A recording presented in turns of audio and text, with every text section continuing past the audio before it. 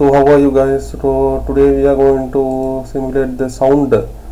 So let's go to that component. This called sound this one. These are speakers uh, something similar to the speakers. This is the sounder piezo sounder model digital output via sound card. Let's select it and this is the sound icon. And so we need the ground. This is the ground and I connect it to here. And we need the, the generator some pulse generator. So I select this one.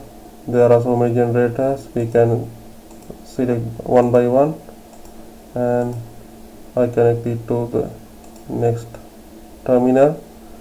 And this one let's do 5 volt and let's set ok then simulate it. You can see. You can I think you can hear the tick tick sound out from the my uh, speaker computer speaker. And I set to DC because this is a DC wave you have a DC signal. So you can see it's 5 volt 5 volt DC output constant volt and because it is constant nothing no sound come out that uh, sometimes it's just tick tick sound from the speaker. I think you can hear it. Let's set to sine and amplitude 5 and frequency 10 10 hertz and let's simulate. You can see you can hear the sound. And we will add oscilloscope and we'll see what's happening. I will input oscilloscope here like this and you can see.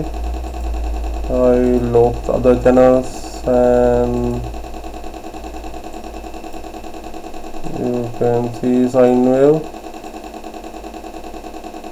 5 volt amplitude sine wave can see it's about 5 volt because we uh, input 5 volt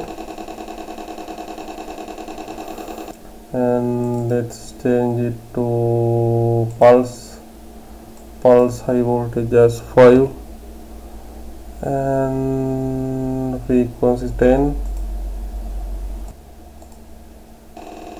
and you can hear the sound and this is the pulse